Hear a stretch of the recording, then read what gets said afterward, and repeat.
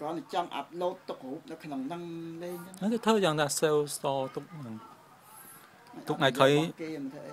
ទុកថ្ងៃក្រោយចង់មើលមើលវិញទៅរូបថតហ្នឹង